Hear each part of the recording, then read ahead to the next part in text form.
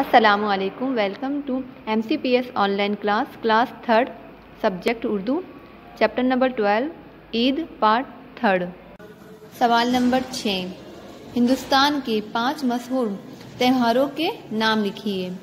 सबसे पहले ये ईद, होली, दिवाली, क्रिसमस और दशहरा। सवाल नंबर सात।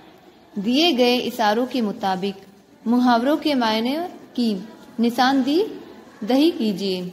मुहावरा, ये इसके मायना। सबसे पहले है, जान छुड़ाना। जान छुड़ाना के मायने होते हैं पीछा छुड़ाना। इसको हम यहाँ से मिला देंगे। नेक्स्ट पाला पड़ना, यानी वास्ता पढ़ना आड़े हाथ लेना, यानी बुरा भला कहना। नाक में दम करना, इसका सामने ही है, परेशान करना। अपना उल्लू सीधा करना, यानी अपना मतलब निकालना।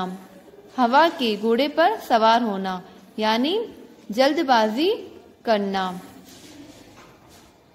ताक में रहना, यानी तलाश में रहना। तो हम इसको यहाँ से मिला देंगे। नेक्स्ट सवाल नंबर आठ।